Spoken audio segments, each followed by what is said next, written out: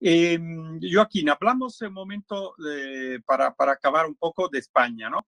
de España, mientras hablamos de España, damos una mirada también a América Latina, en consideración que España mmm, tiene muchos intereses económicos ahí, ¿no?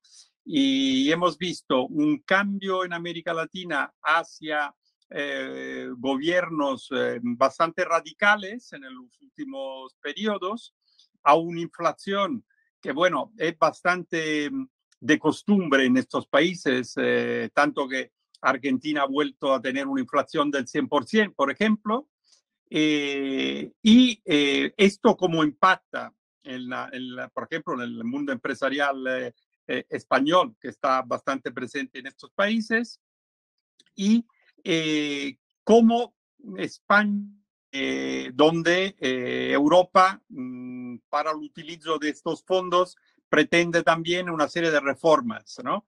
Eh, últimamente se está hablando mucho de la reforma de la justicia, por ejemplo, que está ahí pendiente, bastante por el aire, porque no se consigue ni renovar el, el eh, decimos, el, la, la, la, la, cúpula, ¿no? De, de, sí, de el Consejo del Poder Judicial. Exactamente. Bueno, o sea, yo creo que con, con respecto a América Latina, eh, eh, curiosamente, eh, Hispanoamérica me gusta a mí más, más, más, más llamarlo, pero, pero curiosamente y pese al entorno político tan desalentador, dando esta sorpresa también reciente de los chilenos rechazando esa constitución y poniéndose, digamos, dándole un poco de sensatez otra vez al, al, al, al, al tema, pero, pero bueno, que eh, en, en, términos generales la situación política pues no, no invita mucho al, al, al, optimismo, pero a pesar de ello, la ventaja que tienen ahí es que eh, ellos están perpetuamente acostumbrados a un entorno de muchos problemas.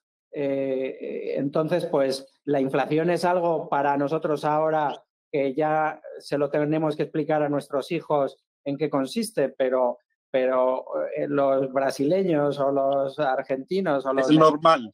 Es lo, lo normal. Entonces, eh, ellos en, en, este entorno se desenvuelven razonablemente eh, bien o ya por lo menos están más acostumbrados a, a, a trabajar con, con, con, ello y encima, eh, eh, al ser una crisis que en parte viene derivada por problemas de las materias primas, eh, parte de las fortalezas de muchos de estos países están en materia prima.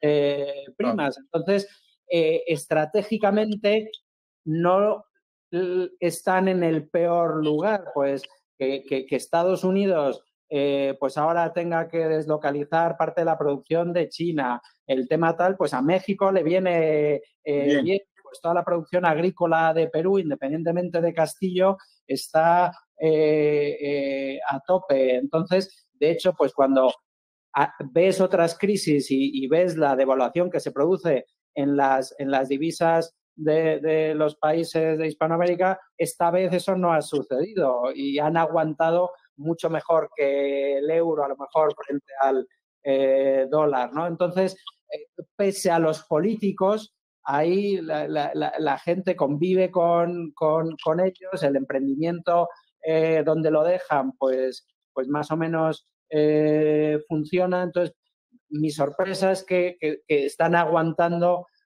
relativamente mejor de lo que cabía esperar, por lo menos desde el punto de vista económico, ¿no? Y bueno, pues ese frente, pues a, a, a España, pues que, que, otras veces las empresas españolas ahí es donde tienen el problema, ahora mismo tendrán otros problemas, pero ese no es el principal no el problema. Eh, problema, ¿no? Y, y, y, bueno, yo creo que, que, que España, pues, pues eh, eh la recuperación post-COVID ha sido eh, más lenta que la del resto de los, de los, de los, de los países y ahí, pues, eh, teníamos un poco más de catch-up que, que, hacer y, en parte se explicaba también por, porque el turismo es un sector que pesa bastante en, en, nuestra economía y bueno, por lo menos este año el turismo pues ha vuelto y, y, ah, sí, sí. y, independientemente de la política, pues las, las cifras eh, en, en, crecimiento y en empleo y eso, pues para nuestros estándares no son tan, tan, tan malas, sino que han sido razonablemente eh, que mm. a partir de ahora vayamos a sufrir igual que el, que el, que el, resto y, el problema de la inflación lo tenemos pues igual o peor que todos, pues, pues eso está, está, está, está ahí, ¿no? Pero, pero bueno, por lo menos vamos al, al, al unísono ahora mismo que los, que los, que los demás.